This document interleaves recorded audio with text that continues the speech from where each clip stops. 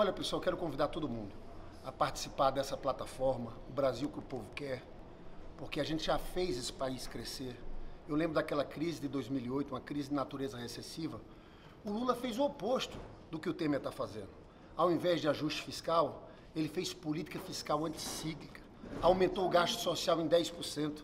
É o que ele sempre fala, colocar dinheiro nas mãos dos pobres para fazer a economia crescer. Esse Brasil tem potencial, tem um povo trabalhador e tem tudo para voltar a crescer novamente. Participe com a gente dessa plataforma.